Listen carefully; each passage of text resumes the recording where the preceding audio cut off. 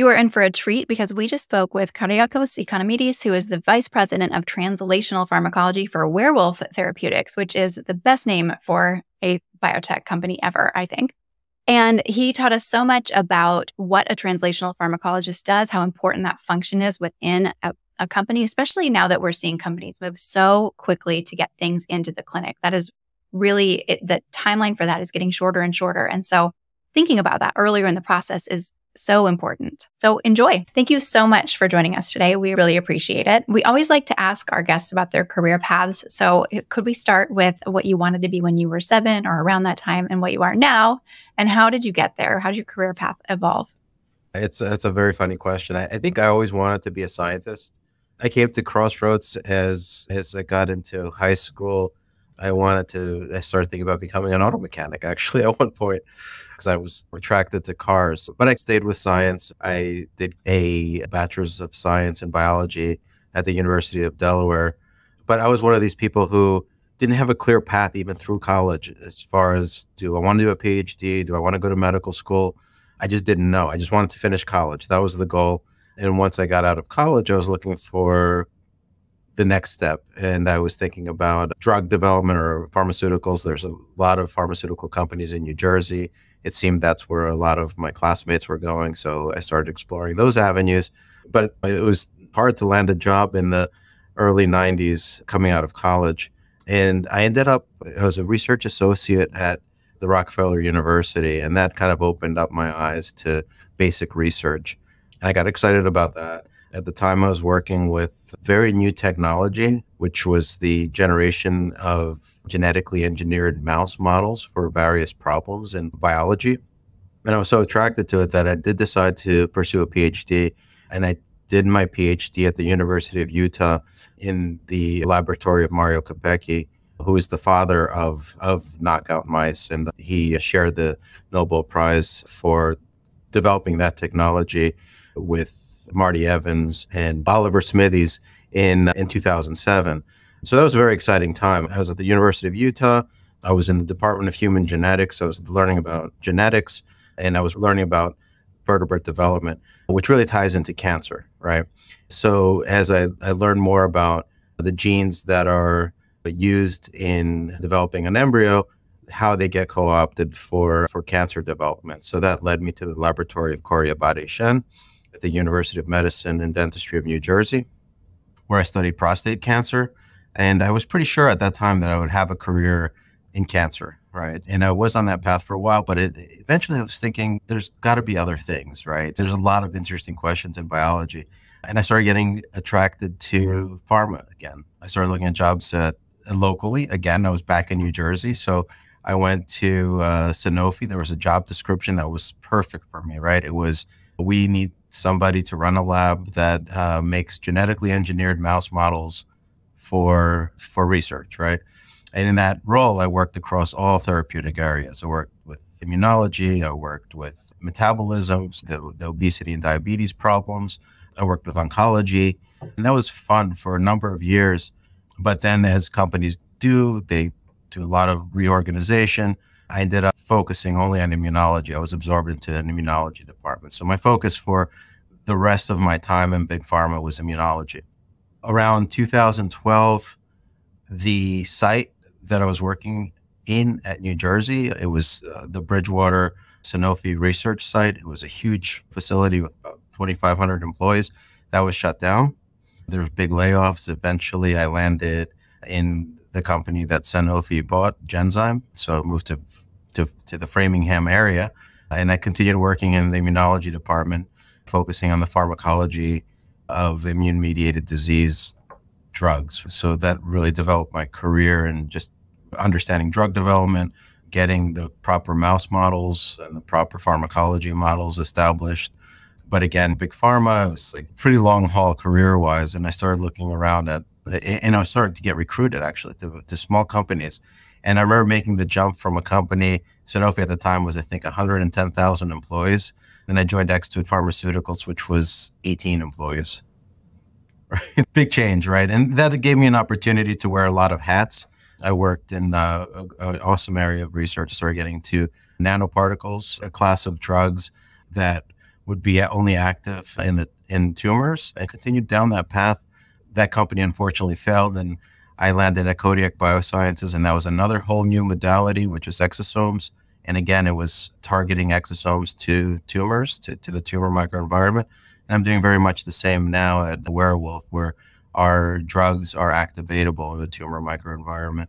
So again, I've been focused on the pharmacology of these unique modalities to get your desirable pharmacology onto your target and try to reduce the systemic effects of, of these drugs that can be very toxic. That's a really interesting career path. So, today at Werewolf Therapeutics, how many people are you? Is it still really small? Are you? Yeah, it's pretty small. I've, I haven't been at Werewolf very long, about a year and a half.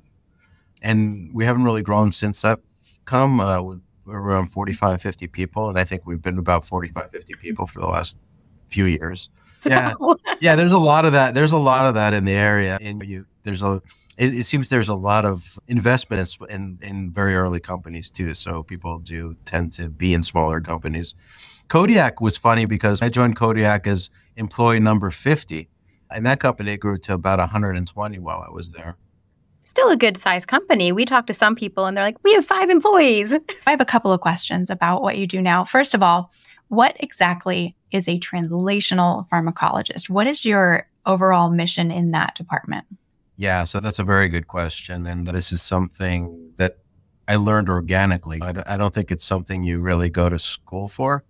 Uh, it's uh, it, it's really trying to understand um, how to translate uh, the preclinical data that you get from your drug uh, to the clinic. Uh, and there's steps, right? There's the uh, preclinical testing where we look at various pharmacology models. In oncology, we could we may be looking at immune oncology um, models and genetic mouse tumor models, for example, where the tumor is derived from the same strain as the mouse, and you can really use the mouse immune system to attack the tumor. But you have to take the data you get from that effort and then translate it to the next step, right? Which is what a lot of people call the non clinical pharmacology. It's before you get into the clinic, but it's not the preclinical work, but it's really the safety pharmacology that you do to ensure that your drug is safe or looks safer than other options. So they could be GLP tox mouse studies, rabbit studies, monkey, dog, higher species. But you do have to do a, a, a non human primate species before you uh, get into phase one. In that step, you're learning about the safety profile of your drug, and then you're helping design the first in human dose. I'm blessed here too because we have a, a clinical pharmacologist that really uh, specializes uh, in that effort uh, here at Werewolf. So, but I, I, I, did that work for while I was at Codiak as well, uh, trying to understand how much we, you know, given what we found efficacious in the mouse models and what we found safe, for example, in the non-human primate, and what our starting dose should be in the clinic, right? So that's the translational aspect of it. Now, the translational pharmacology also expands into biomarkers. What kind of biomarkers do we need to look at? What readouts are we looking for when we get to the clinic? And again, that's a lot of translational work from what we found to happen in the mouse models to what happened in the monkey, any gene expression changes we saw, or cytokines that were released, for example, or anything that we, you know, we found in the monkey studies, how we translate those to understanding if our drugs are working in humans. I am so glad you explained that because I'm not going to lie. Most people know this who listen to the show. I'm an operations person, not a scientist. And I was prepping for this, Googling translational pharmacology. Like, what does he do? So I appreciate that insight. yeah, yeah. And we, we always also talk about pharmacokinetics and pharmacodynamics. I like to describe those things as I didn't invent this right uh, definition, but I, I like it a lot. So pharmacokinetics is really what happens to a drug once it gets into a body, what what a body does to a drug and pharmacodynamics is what uh, a drug does to the body, right? So what changes happen with by introducing that drug to a, to an, uh, a living system. That's a really good explanation of that. And that's not one that I've heard given before. And I'm stealing that so that I can tell candidates what that is when we talk to a lot of candidates Perfect. who, you know, to your point, you don't go to school and study this. You don't go to school and study. I'm a molecular pharmacologist. That's part of my PhD training. I didn't know any of that sure. stuff when I was finishing my degree. Nobody, you don't know what a drug, what even, how is a drug made? You don't know that when you finish your PhD. Yeah, and you're right. And there's so much regulatory stuff that really, there's a whole group of people who are these, a lot of these people are consultants and they've got a real handle on the whole regulatory landscape and the changes that are happening in real time to help us understand what we need to get the FDA to allow us to put our drugs into clinical trials. And those are a very special phenotype. They really know their area of expertise. It's incredible. Yeah, we talk a lot about using external consultants. That's a really good use case for that. Hiring somebody internally to consult on that at the size you are right now maybe doesn't make sense. Whereas a really large company that's dealing with multiple drugs. Exactly, exactly. That's uh, the, these are very well paid yeah. people. And if you're developing one drug, it makes no sense to have one person that, you know, that, that specializes in that. So we've used consultants in most of the smaller biotech positions I've been in. At Sanofi, we had entire departments that specialized mm-hmm. in that work.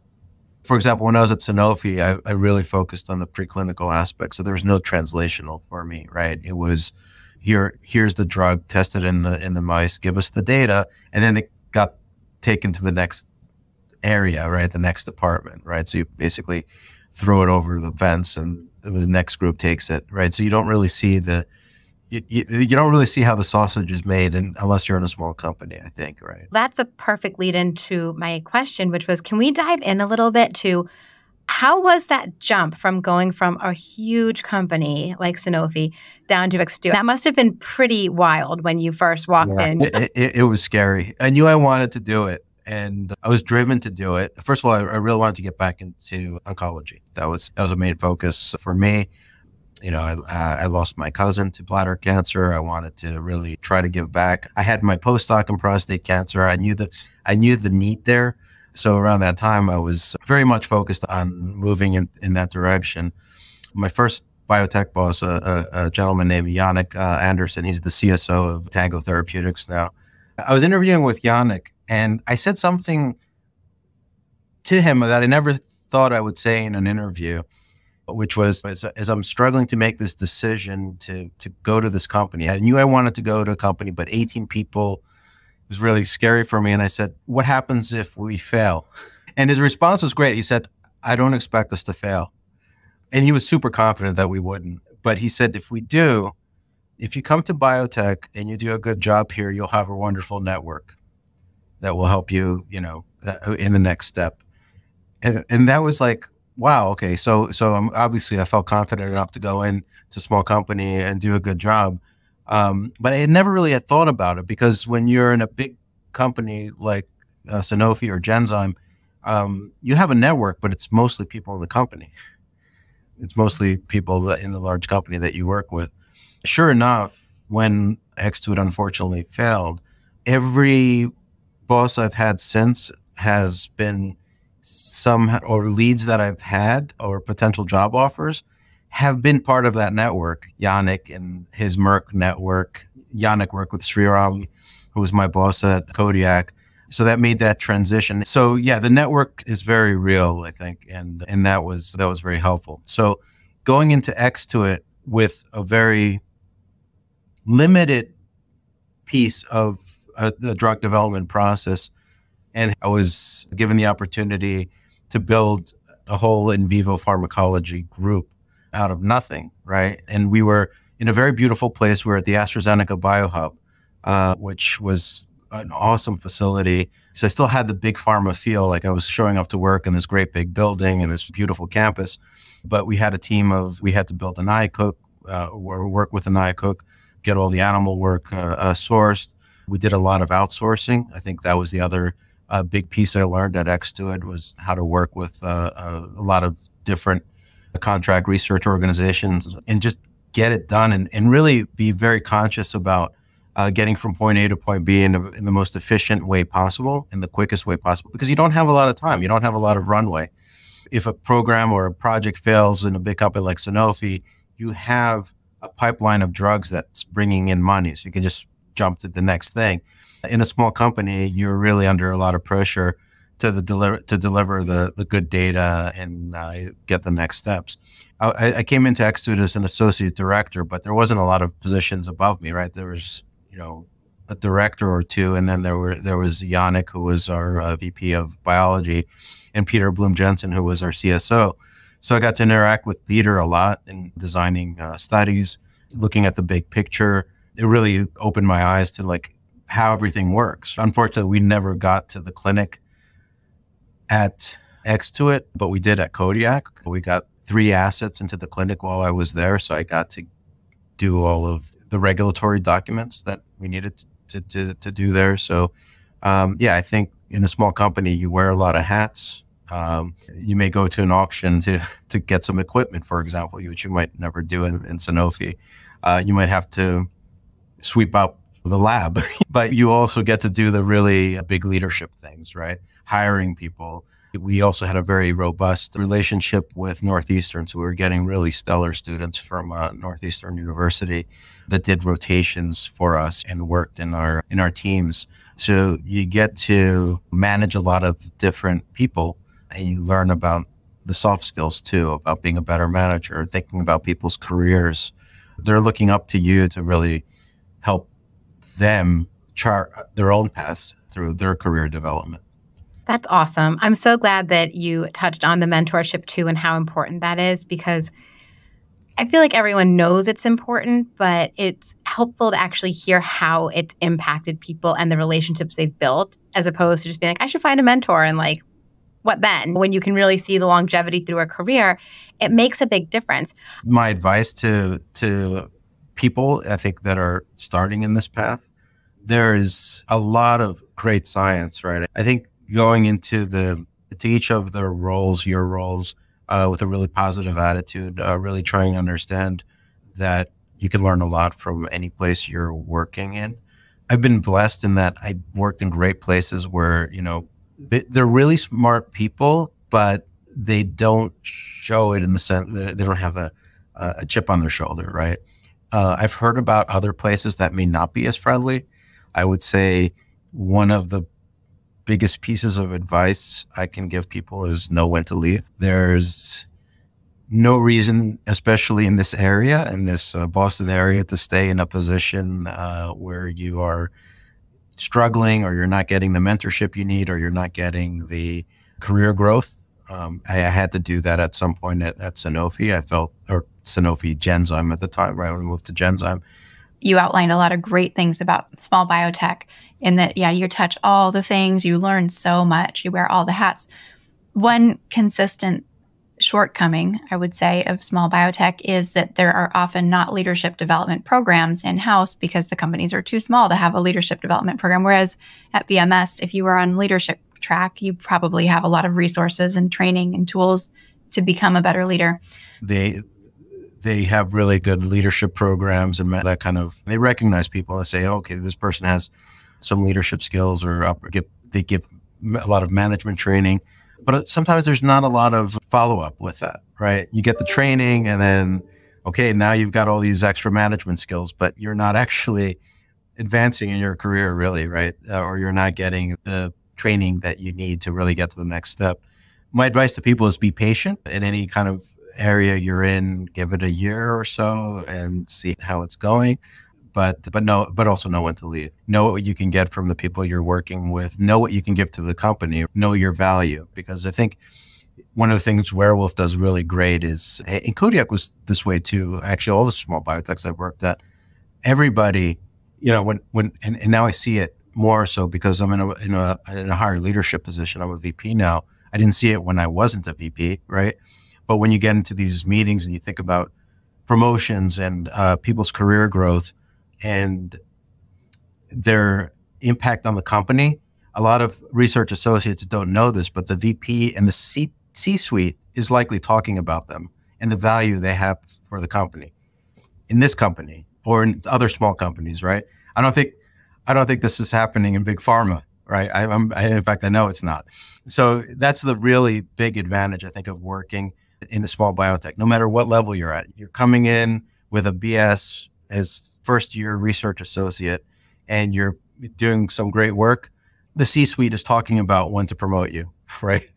So that's my message to, to, to young people. I think when I talk to candidates, I always say big pharma, excellent place to learn a lot, right? There's no wrong answers in your career, but I think I think most people should experience both. I think people should try to work in a big company and see what that's like. And you can go both ways. You can start in a big company and learn a lot and then go to a small company and take some of that knowledge with you. Or you can go to a small company and then take a role in a big company. I've seen a lot of people show a lot of success in either example, right? Yeah, I think that's really wise. And also one of those things where nothing's one size fits all. And the whole thing about when we started the show, we were talking about why some companies make it and why some don't. And really, it comes down to timing, right? A lot of it is just time. timing is everything. And so, even in your own career, think about the timing and think about what makes sense for you. And you're not really locked into anything ever for the most part. So, if no. you want to start small and go to a big company, do it. If you want to start with a big company, try a small one. It's fine. Careers have more flexibility than I think people sometimes think they do. Yeah. When I joined Sanofi in Bridgewater, and bought a house nearby. I, w- I thought that was it. I thought this was going to be my, I'm going to retire here because there are a lot of examples of people there who had been at that site for 30 years through iterations of different companies, right? It was Sanofi and Aventis before that and HMS before that. It was, it, it, there had been people who had been at the site for their entire career. And I thought, okay, this is the next step, right? And I think that was the paradigm that was really through the 80s and 90s, right? That you go to a company and then you work at that company and then you retire and you get your gold watch and then you you know that's not the case anymore. I think the other thing I always tell young people a lot is change, right? Is just inevitable, right? And the better you are at managing that change and embracing it, the better you'll do in your life and your career. Point is, don't get too comfortable because things are going to change. Super valuable advice. We have a lot of people come to us for career development advice, and that's the big worry. They think that small biotech is very volatile, which it is. You may hold more roles at different companies, but your point about the network and the amount that you learn and those then transferable skills, because now you've touched so many different areas of a company, that's really huge. And then we don't see that big companies are as stable as people think they are. Entire departments, groups, entire drug indications get yes, let go. Absolutely. And I lived this, right? I think we used to joke about the yearly round of the holiday layoffs because uh, it was almost every year we would have a pretty large mm-hmm. layoff in a big company. And it, it was not a state, it n- never felt like a stable place. You know, I think, I think it did for the first four or five years of my career at Sanofi, we had a very stable department. In fact, we, were, we, we operated more like a small biotech inside of a big company. I had a pretty unique role. I, I, got to work on doing stuff I did as a postdoc and as a graduate student, specializing in, in genetically engineered mouse models for the entire company. That department, over the course of four or five years, I think only had lost hmm. two people and that there were career changes. Like one woman decided she wanted to be a, a teacher, which is a great move. Um, so it was a very stable place for five years. Then things started changing all the time, right? So we had reorganizations and transformations, and you know all the kind of euphemisms they used for these things, right? But they they all they always had to do with change, right? And eventually you become accustomed to it, and you understand change is yeah. change right? And I think younger people are much more in tune to that now too, right? I think it's really a gig mentality, mm-hmm. right? Yeah. No, definitely. I think it's so interesting your point about you used to think you would join a company, stay there for 30 years, and that was it. That was exactly what I thought was going to happen in my career. I would join a big mm-hmm. company and that was it. And the fear was always job hopping. If you didn't stay at a job for like longer than a year, you a job hopper and all that. And now we see people jumping ship and they're going to different biotechs and they're doing this. And that whole, I feel like that whole concern has really just been mitigated by the fact that how the industry has evolved. That to your point, it's a little more of a gig economy. People come and they go and then they come back or they don't and they form new groups. And what's really interesting, just the big shift that we've seen and the mentality about how long people stay at a job and what the expectation is. Right. So what we've also seen in the past 10 years is that small companies start to think about their clinical prospects a lot earlier than they used to and start to plan for that. And so you are uniquely, I think, in a situation to speak to this because you sit at the intersection of basic research in the clinic. When would you say that a small company should start to bring in somebody, at least with some of the expertise that you bring, to start to think about that transition, how that would translate to the clinic? Oh, early, very early, because someone, Eh, they don't necessarily have to be a VP, but someone at least at a director level, even associate director level, they should be really thinking about, I mean, the goal of the drug, whatever, whoever's investing in your drug, they want to see you get into the clinic yesterday. And it's not going to happen yesterday. It's going to take a few years, right? But you really need to plot out the course, right? The preclinical work comes right away. The the in vitro work and the the in vitro proof of concept and the, the in vivo proof of concept that could happen within the first year of getting your funding, right? Getting your seed funding. Someone that's already thinking about the big picture and has some back, background or some skill in, in thinking about the non-clinical, the non-GLP and the GLP tox studies that are going to be required, I think is important to get them in pretty early. We're seeing that the trend is in an ideal world, your funding partners would like you to, like to see that IND filed within two years, and that's that's yeah. a tight timeline compared to what we used to see, which was closer yeah. to three or four years. Yeah, that's right. That's about right. It used to be about three or four years, and um, two years, it's extremely fast. Like everything has to work perfectly. What's one thing that you hope to achieve in the next 10 years? That's a really easy question. I want to see our drug get Amazing. approved. Our drugs, I should say, our drugs get approved because I think we have uh, multiple shots on goal, and I think they're all good. I want to see, I want to see the patient benefit, right? I think that would be the cherry on top of my career, right? To just say, I had a big role in this, right? and and we're helping people. We're helping people with real problems, with real deadly diseases. So I think you're going to have a really interesting answer to my favorite question, which is what is your favorite book you have read recently that you think everybody should read? I don't know if everyone should read this one, but it was a book that was actually recommended to me by our uh, IT guy here, Werewolf. It's called The Lost Empire of Atlantis if you're a history buff and you like to understand, especially antiquity, it kind of charts the story of. It, it's really the theory of Atlantis being the Cretan civilization, right? That the island of Santorini blew up in antiquity and took out the Mycenaean civilization, right? And that civilization was much more advanced than we appreciate uh, today, right? It's a lot of history details of really building this case for that being the the legend of Atlantis, right? I also this is going back a few years. The Emperor of All Maladies is a great book if you want to understand the history of cancer. There's not a lot of immuno-oncology in that because that's more recent. But those, I think, those are two really good books. Where can people find you? Is LinkedIn best? Yeah, LinkedIn is best. Yeah, we'll include that in the show notes. Yeah. People can click right through to you, and we'll put Werewolf in the show notes as well if people want to check out Werewolf. Yeah, we have a great. We also have yeah in our science page we have a nice video that describes our tech. Yeah, we'll link to that um, for sure. So. Amazing. Yeah. Thank you so much. This was really fun. Oh, awesome. Thank you. I really enjoyed it. Really nice talking to you both. Thank you so much. Thank you. Take care.